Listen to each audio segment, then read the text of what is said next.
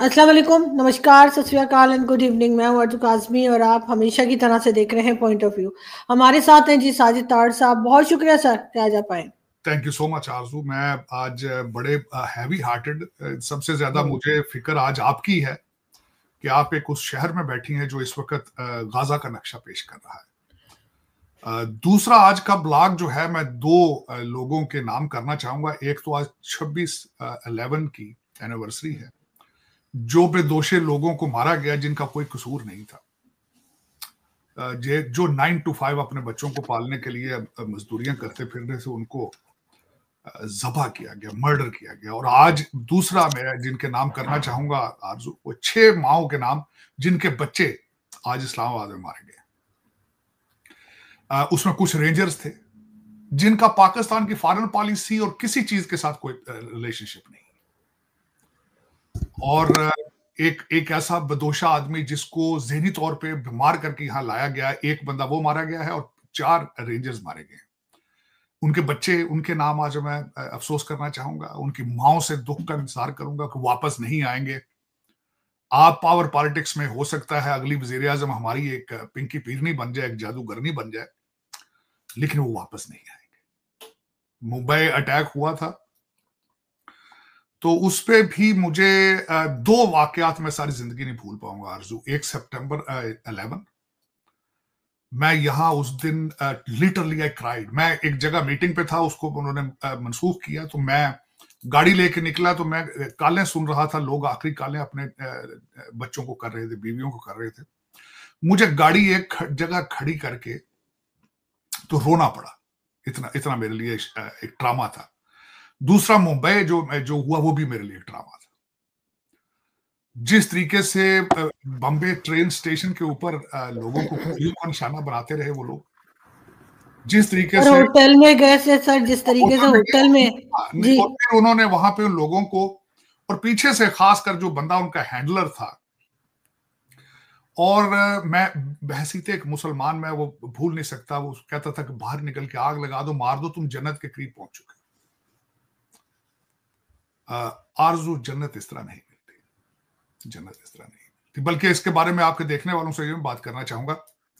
अगले दिन मुझे किसी ने ये एक चीज़ भेजी है फिक्शनल है, ख्यालाती है, उसके, उसका अपनी सोच है, लेकिन मैं हैरान उसकी बात हर धर्मा, हर मज़हब जो है, वो मुक्षा का नरवाना का, जन्नत का, स्वर्ग का कॉन्सेप्ट देता है। तो उस बंदे ने मुझे वो एक मीम भेजी, उसमें वो बंदा कह रहा है कि खुदा के पास जब जाते हैं, हम पूछते हैं कि हमें भाई जन्नत दो, मैं तो बहुत सारी ज़िंदगी बहुत अच्छे काम किए तो आगे से खुदा, भगवान वाहे गुरु उसको कहता है कि मैंने तुम्हें जन्नत तो दी थी। वहाँ फूल थे, वहाँ पे शहद थे, खूबसूरत लोग थे, तुम्हारे दोस्त थे, गर्मी थी, सर्दी थी। तुम्हारा दिल करता था ठंडी चीज़ें पीने को, ठंडी पी लेते थे, गर्म पीने को दिल था, गर्म पी लेते थे। लेकिन तुम अपनी जन्नत को पहचान नहीं सके हो। इसमें मेरा क्या कसूर है? आज के दौर में अगर हम अपनी जन्नत को नहीं पहचान पा रहे आरज़ू तो इसमें दुनिया क्या क्या कसूर है? आज मैं बड़ा दुखी हूँ इस बात पे। आई एम वेरी शॉक्ड क्योंकि आज पाकिस्तान फिर हार गया। पाकिस्तान अपने सेवेंटी सेवन ईयर्स में कई दफ़ा हारा है, लेकिन आज फिर हार गया। आज फिर हार गया और मैं उसको आई विटनेस कर रहा हूँ। सबसे ज़्यादा मेरे लिए जज्बाती ये है कि मेरी आँखों के सामने मेरा मेरा मुल्क जल रहा है और मैं उसके लिए कुछ भी नहीं कर पा रहा। ये एक बहुत बड़ी ट्रेजिडी चले। मैं आप, आज देखने वालों को दस खबरें जो हैं, दस चीज़ें, जो पॉइंट्स हैं वो शेयर करना चाहूँगा। सबसे पहले तो ये कहना चाहूँगा कि दुनिया आपको अबेंडन नहीं करती। दुनिया आती है। आज भी जहाँ डी चौक पे डेथ चौक बन चुका है वहाँ गोलियाँ चल रही हैं, शेल चल रहे हैं, लेकिन 75 लोग जो हैं बेलारूस से आके बमाए उनके सदर के। वो इस्लामाबाद बैठे हैं, जिनमें 60 43 उनके साथ वहाँ के बहुत बड़े बिजनेसमैन आए हैं, जो पाकिस्तान में बिज़नेस करना चाहते थे। उनका क्या कसूर है? उनको वापस भेज दें आप, उनसे माफ़ी उनसे माफ़ी मांगे बल्कि, कि यार हमने तुम्हें गलत जगह पे बुला लिया, वापस चले जाओ हम कारोबार के तो लायक नहीं मैं, ये मैं सबसे पहले दुख है कि दुनिया आपके पास कारोबार करने के लिए आती है, लेकिन आप उनको, उनके साथ उनको क्या देते हैं? आप क्या उनके साथ करते हैं? दूसरी बात, डॉक्टर जयशंकर साहब ने बात की है कि अगली वार जो होगी वो चिप्स की होगी। अब वो ये नहीं बता बता सके कि आलू के चिप्स होंगे या कंप्यूटर के चिप्स होंगे। क्योंकि हम तो आलू के चिप्स भी नहीं बना सकते, आप चिप्सों की बात कर रहे हैं। ये हमारे पठान भाई जिन्होंने आज हमला किया इस्लामाबाद ये चिप्स बनाने आए हैं यहाँ पे, ये क्या लेने आए हैं? और अगर इनके नारे देखे जाए अल जिहाद अल जिहाद के, इनका अगले सौ साल इनका कोई इरादा नहीं है कि यहाँ पे चिप्स बने इस कंट्री के अंदर। चले। जो उनका सेमिक सेमाई कंडक्टर की तरफ़ डॉक्टर जयशंकर साहब की बात थी, वाकई उनकी बात ठीक है, अगली जंगें पानी पे होंगी, अगली जंगें सेमाई कंडक्टर पे होंगी, अगली जंगें आर्टिफिशियल इंटेलिजेंस पे होंगी। यहाँ पे जो डोश प्रोग्राम बनाया है विवेक विवेक रामास्वामी ने और इलान मस्क ने, उन्होंने पूरी फेडरल गवर्नमेंट को आर्टिफिशियल इंटेलिजेंस की हेल्प से ठीक करना है। आप कहा है? आप कहा है? नारे सुने। आज वो पिंकी पीरनी ऊपर चढ़ी है। साथ उसके एक बाबा जी हैं, अली अमीन, गंडापुर सर पे सफ़ेद कपड़ा कहते हैं, ये कफन है।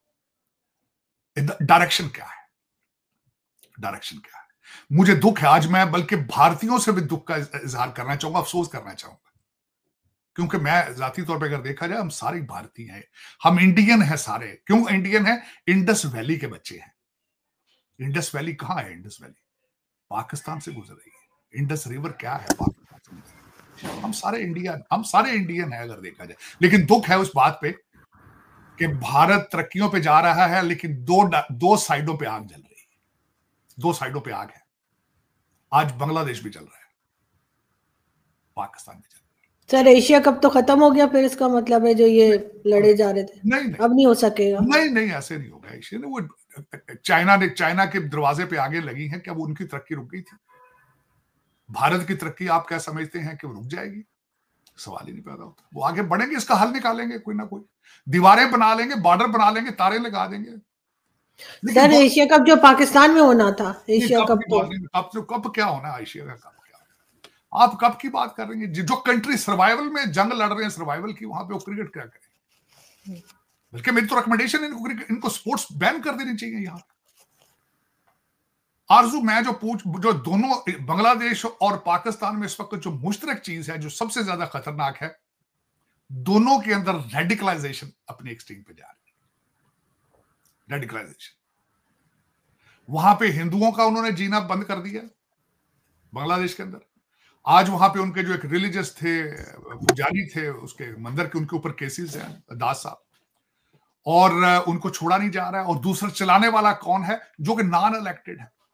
इलेक्शन की बात ही नहीं अभी तक कर रहा है। और एज उसकी क्या है? चौरासी साल चौरासी साल का बंदा तो वैसे ही उसको, उसके हालात खराब हो जाते हैं डेमेंशिया की वजह से। और कल परसों खबर चल रही है, पता नहीं किसी ने चलाई है कि उनकी उनकी बच्ची जो है, वो कहीं ड्रंक ड्राइविंग में पकड़ी गई, किसी फॉरेन कंट्री चले। हालात उनके खराब हैं क्योंकि अमेरिका में आए थे तो भाईजन जो बाइडन से मिलते रहे बिल क्लिंटन से मिलते रहे।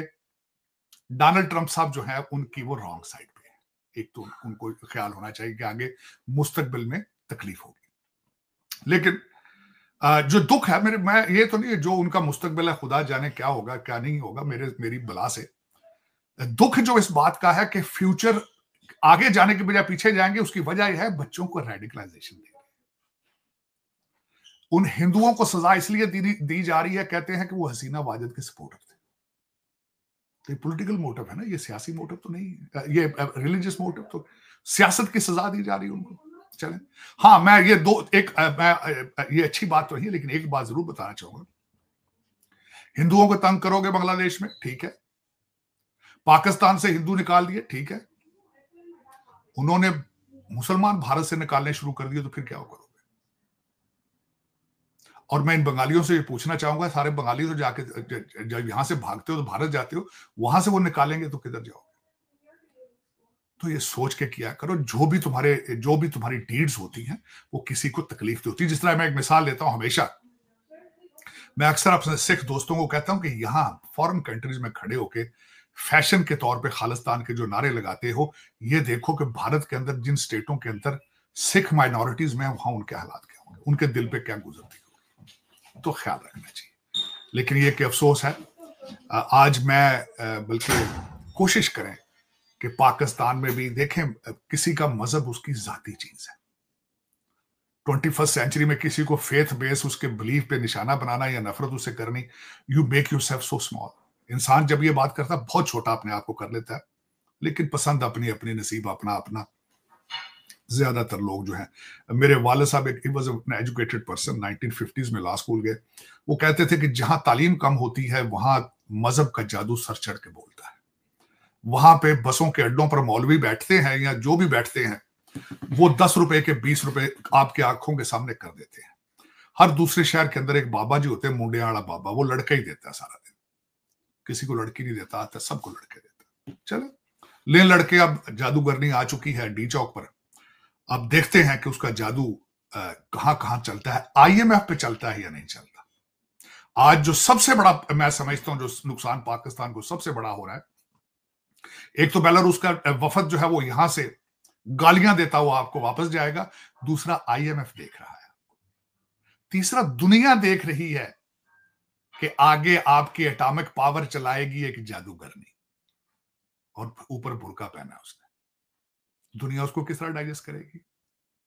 रेडिकलाइजेशन काले बकरों पे किस तरह एक एटॉमिक पावर चलाई जाएगी? किस तरह क्या सोचोगे भी चलाने देगी दुनिया इस तरह आपको।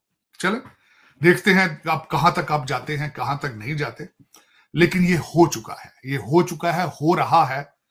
आ, पाकिस्तान हार चुका है पाकिस्तान जल रहा है।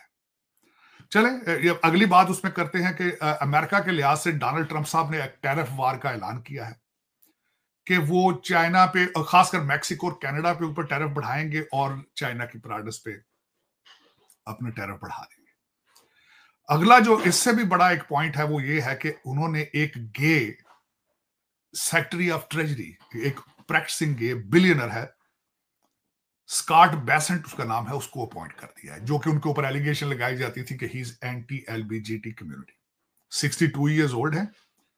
और किंग्स उनका उनका की स्क्वायर मैनेजमेंट उनका, उनकी कंपनी का नाम है हेज फंड मैनेजर है। और इससे पहले सौरो मैनेजमेंट में भी काम करते रहे हैं। ये एक बहुत बड़ी बात है, ये मेरे ख्याल में। साथ ही एलबीजीटी कम्युनिटी रिलेटेड ये भी आपको बताऊँ कि उन्होंने इरादा ज़ाहिर कर दिया है कि फौज में से सारे ट्रांसजेंडर निकाल दिए जाएँगे अमेरिकन फौज वो पंद्रह हज़ार के करीब लोग हैं जिनको निकालेंगे। एक नई डिबेट शुरू हो चुकी है।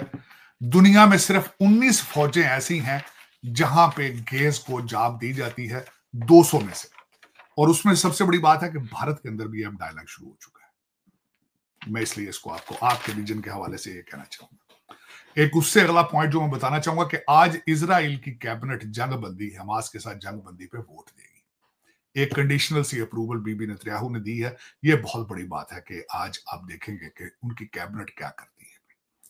अगला पॉइंट फिर मेरा भारत के हवाले से पप्पू गांधी जी की ब्रिटिश नेशनैलिटी सुना है निकल आई उसके ऊपर एक डिबेट शुरू हो चुकी है कि पप्पू गांधी जो है इज़ अ ब्रिटिश सिटीजन मैं हैरान हूँ कि एक बहुत बड़ी खबर है, पाकिस्तान के हवाले से खबर नहीं है। क्यों? पिछली दफ़ा मेरे पीरो मुर्शद जो है, इमरान खान साहब, उनकी कैबिनेट में 60 60 परसेंट जो ब्रिटिश और अमेरिकन सिटीजन होल्डर थे, डुअल सिटीजन, इस वक्त भी आपके रूल करने वाले मेजॉरिटी अमेरिकन और ब्रिटिश सिटीजन होल्डरशिप है। उससे अगली खबर जो है वो वो भी इंटरेस्टिंग खबर है कि डोनाल्ड ट्रंप साहब के सारे फेडरल चार्जेस को ड्रॉप कर दिया गया है। और उसमें अब देखें कि अब डोनाल्ड ट्रंप साहब आ रहे हैं, कई चीज़ें सेटल होती नज़र आ रही हैं, जिस तरह जंगों के बारे में देखा जाए। रशिया के हवाले से यूक्रेन इस वक्त तड़प रहा है हमें फंड दी जाए। फंड आपको पता है वो सारे खा पी जाते हैं करप्ट कंट्री है। और इस वक्त अगर देखा जाए तो बाइडन एडमिनिस्ट्रेशन ने कोशिश की है कि जाने से पहले वो लैंड माइन्स बिछा के जाए, जो उन्होंने इनको इजाज़त दी थी कि अपने लॉन्ग रेंज मिसाइल जो है उनको टेस्ट किया जाए। पाकिस्तान के अंदर इस वक्त आपके जो हालात है उसके बारे में डिफरेंट ओपिनियन है। कुछ लोग ये कहते हैं स्क्रिप्टेड है ये सारा कुछ। गवर्नमेंट चाहती थी कि इस्लामाबाद चौक पे तक ये लोग पहुँचे, फिर पीछे से इनकी रसाई बंद करके तो बीबी को अरेस्ट किया जाए। लेकिन मैं उससे एग्री नहीं करूँगा।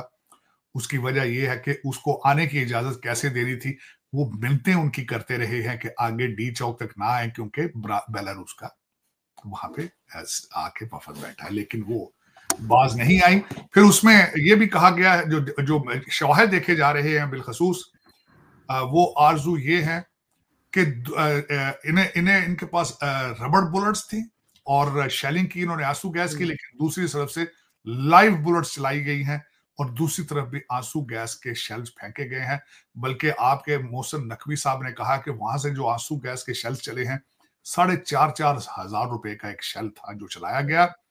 अब वो कहाँ से आए हैं? इस वक्त आपके देखा जाए, दूसरी साइड पे जो सूबा सरहद है उन्होंने पूरी प्लानिंग के ज़रिए जिस तरह एक वार प्लान होता है, इस तरह करके उन्होंने अटैक किया है और उसके अंदर पुलिस शामिल है। सर अमेरिका की तरफ़ से भी स्टेटमेंट आया है ना? स्टेट डिपार्टमेंट ने कहा है कि जी इनको प्रोटेस्ट करने दिया जाए पीसफुल हो और इसके सब मैंने, मैंने उसका पढ़ा माइक मिलर का मैंने बिल्कुल पढ़ा जी। बल्कि जो उनके जर्नलिस्ट जिन्होंने क्वेश्चन किया is a close friend of mind जब भी सवाल करते हैं मुझे भेजते हैं उसके बाद जो उसकी फुटिंग होती उन्होंने इनको प्रोटेस्ट करने का हक दिया नहीं ये नहीं कहा कि इनको प्रोटेस्ट करें। उन्होंने कहा ये इनको प्रोटेस्ट करने का हक है लेकिन बाई लाज के ज़रिए कानून के अंदर अंदर रहते हुए। लेकिन आपका क्या ख्याल है ये कानून के अंदर अंदर है जो क्रेने लेके साथ चले हैं गवर्नमेंट की? जो इस वक्त और दूसरी साइड से लाइव बुलेट्स चल रही है। लोग वहाँ मैंने कई जर्नलिस्ट ऐसे देखे हैं जिन्होंने उनको पुलिस के आ, आपकी जो शेल्स हैं उन, उन्होंने उठा के दिखाए हैं देखिए शेल्स चला रहे हैं। और ये शेल्स किन के हैं? ये आपकी पीटीआई के जो जो सपोर्टर थे उनके पास थे। दूसरी साइड पे तो पुलिस के पास लाइव एमुनेशन था ही नहीं। दूसरी तरफ़ तो सिर्फ़ उनके पास बुलेट्स प्लास्टिक की बुलेट्स जो चलाते रहे।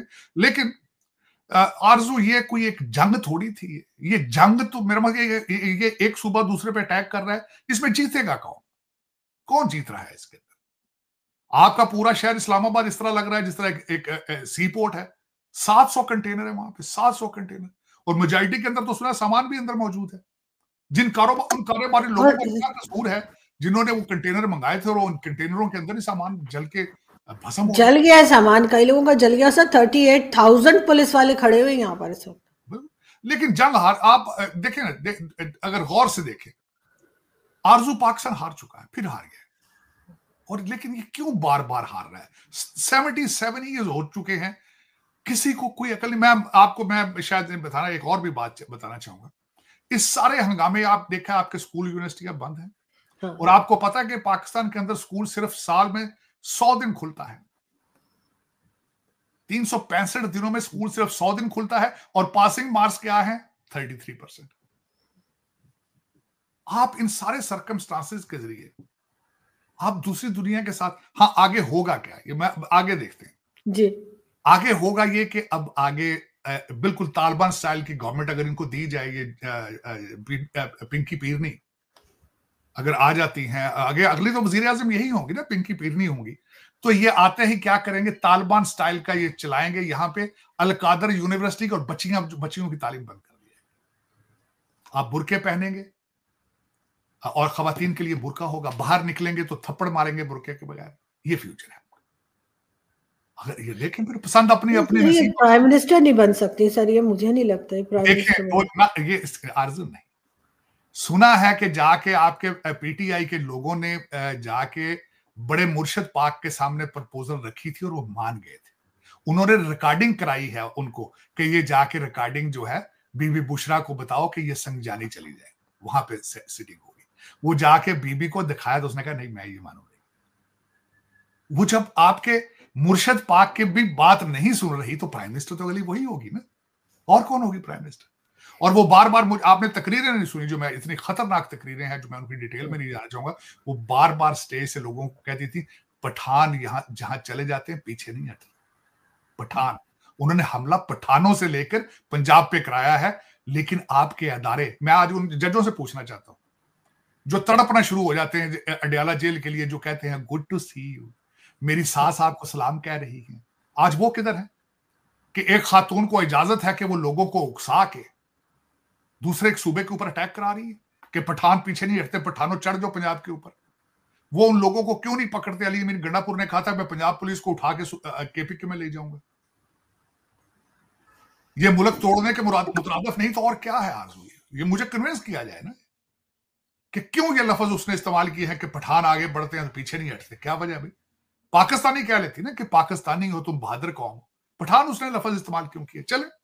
उसकी वजह यह है आरज़ू जब आप लोग, मैंने कहा लोग आते हैं, दुनिया आपको देखना चाहती है, आप हेल्दी हो, कारोबार करें बिज़नेस करें, लेकिन आप फ्रॉड रिश्वत और तोड़, मार, फोड़, मैं कहता हूँ मैं अगर एज अमेरिकन सिटीजन दिल करता है, आज आइए, मैं को लेटर लिखूं, कि शर्म करो, हालात देखो जो तुम पैसा अमेरिकन का ब्लड और स्वेट दे रहे हो इस कंट्री को।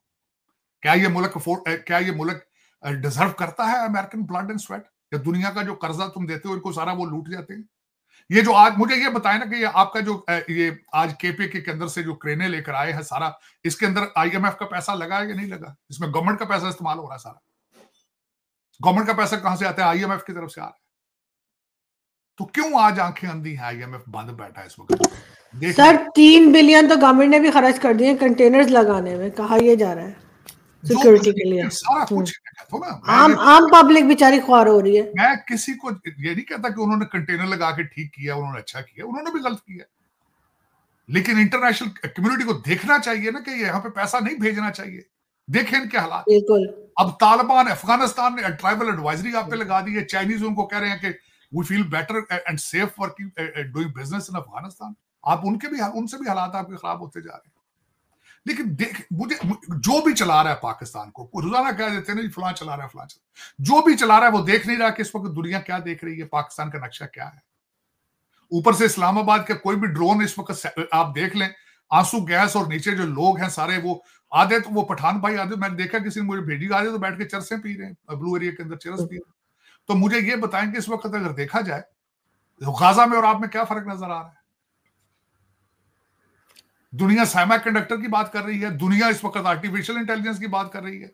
आप किस डायरेक्शन में जा रहे हैं? मैंने बता दिया है आपकी डायरेक्शन आरसू आपको भी बुरका पहन के बाहर निकलना पड़ेगा। आप तैयारी करें, बल्कि बुरका अफ़गानिस्तान से मंगा लें कोई। ये आपका फ्यूचर है।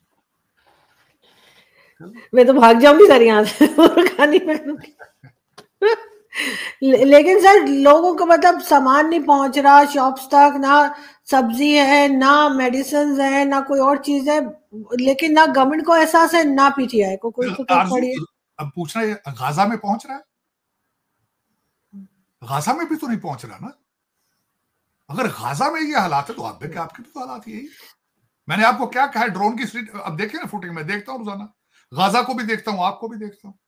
गाजा में भी नहीं पहुँच रहा है तो आप भी आपको मैं आप आप भूल जाती हैं आजू मैंने आज से दो महीने पहले कहा था मुर्गियाँ पाल लें लकड़ियाँ इकट्ठी कर लें घर में। पानी के दो कनिस्तर भर के रख लें। मैंने कहा था सूखे चने और गुड़ रख लें। मैंने मिन्नत की थी आपकी। आप मेरी बात सुनती नहीं you are living in the unpredictable land इस मुल्क में कोई पता नहीं कि आज रात को सोई है सुबह क्या होगा। बिल्कुल ऐसा ही है। लेकिन कुछ भी बेहतर होता हुआ फ़िलहाल दिखाई नहीं दे रहा। ये कहा जा रहा है कि रात को शायद एक बड़ा ऑपरेशन किया जाएगा लेकिन पता नहीं क्या होगा। किसने ऑपरेशन करना है क्या करना है? बुरके सलाए मैं तो कहता हूँ अगर अच्छा है बुरके। आज भी अभी देर नहीं हुई तो रावल पिंडी जाए किसी साइकिल ता, तांगे में बैठ कर जाए और वहाँ से गुड़ ले आए चने वने ले आए पानी के चार पाँच कनस्तर भर के रख लें और बुरका ले आए। देखें मैं बता रहा हूँ इसके आपके आपके स्कूल कॉलेजेस बंद होने वाले एक आपने देखा नहीं है पीरनी के पीछे जो सारे खड़े हैं लोग तो पिंकी के कपड़े किस किस्म के हैं? बिल्कुल। उसका सपोर्टर कौन से वो वो ना पंजाबी है ना उर्दू है। वो हाँ। पख्तून है पख्तून। और वो पख्तून कौन थे जरा देख लेना। वही आ गए पंजाबी पाँच हज़ार से ज़्यादा पूरे पंजाब से नहीं निकला सपोर्ट में। नहीं निकले सर पंजाब से कोई नहीं निकला। पंजाब ने सिंध ने बलूचिस्तान ने रिजेक्ट कर दिया इसको इस फितने को। हाँ उसकी एक और बात बताता हूँ। आपकी गवर्नमेंट आप सारे इन्वॉल्व हो। आपने गवर्नर राज क्यों नहीं लगाया पिशावर के सुबह में? आज आपने उनको इजाज़त क्यों दी है कि आपके सुबह सरहद की केपी की, की वो गवर्नमेंट की मशीनरी को इस्तेमाल करें? किसने इजाज़त दी थी? आपने इजाज़त दी थी आप सबने इस सारे जुर्म के अंदर तेईस करोड़ पाकिस्तानी मुजरम है आज। मुजरम है आज। ले अब आप गवर्नर राज लगाते ना वहाँ पे ताकि वो इन चीज़ों को इस्तेमाल ना कर पाते। आज दूसरी साइड वो आपकी पुलिस बता रही है कि दूसरी साइड से भी शेलिंग कर रहे हैं वो। वो शेलिंग आपके खर्चे पे आपने जो सुबह सराज को दी थी वो आप पे चल रही है। अब बर्दाश्त बिल्कुल ऐसा ही सरेंडर करें सरेंडर करें। और मूव करें तालिबान की तरफ़ से। तालिबानिस्तान बनाए इसको। आपको पहले भी पता है खान साहब का तो नाम तालिबान तालिबान खान था उसका। बिल्कुल। तालिबान सबसे बड़ी बात है आपको मैं और बताना चाहूँगा आज। आज भी अंदर सारे अफगानी है उनके आते अंदर तो अफगानी है जो हमला कर रहे हैं। हम्म। और आपको पता है जब भी जुलूस निकालते हैं अंदर तो अफ़गानिस्तान के झंडे होते होंगे अब तैयारी करें आप बुरका पहनने की। पहुँच गया बुरका आपके पास। नहीं सर आप मुझे डराए मत। आई होप के कुछ ठीक होगा। बहुत शुक्रिया कि आपने आज ज्वाइन किया। Thank you so much